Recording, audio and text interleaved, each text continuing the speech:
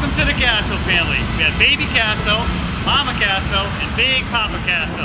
Alex is going to tell us more about these machines.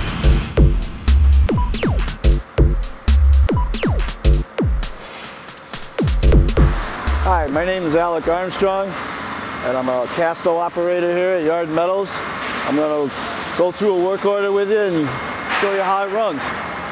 Uh, this Kasto has the capability to cut from an eighth inch up to 24 inches thick. It has a 60 inch throat and a 27 foot long table. You can hold a 16. Mostly this saw will break down bigger plate down into smaller sizes where we can transfer it off to our other smaller saws or cross cutting on another bar saw that we have. Okay, we've already staged our material. Uh, it's 3 8 thick. I put two plates on and I cut it in half. This way we can double it up so it's four plates thick, which is an inch and a half now, which will cut down the cutting time. After the trim cut, we line it up our laser with the size that we need. The laser is within a 16th of an inch. We clamp it down and uh, then we let it run. I also set my feeds and speeds to the thickness and the material, cutting at 1.24 inches a minute at approximately 87 RPMs.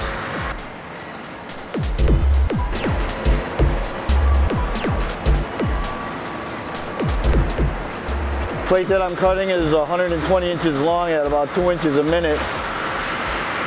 That's about an hour a cut. So a lot of jobs are time consuming up here, uh, depending on the thickness and the alloy. Like I say, this is 316, it's a little harder, so it takes a little longer. And we're done with our cut.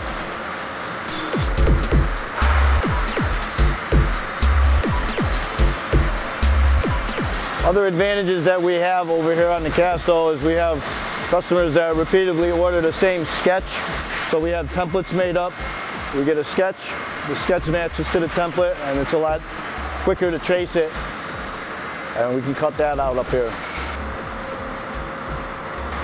We have uh, two other Kastos here. Both of them are still capable of cutting up to 24 inches thick. They just have a smaller throat ratio. Uh, these saws are for smaller source pieces.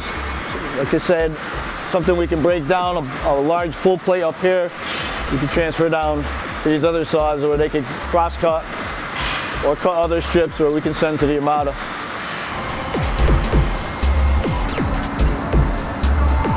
The Kasto puts out a lot of weight.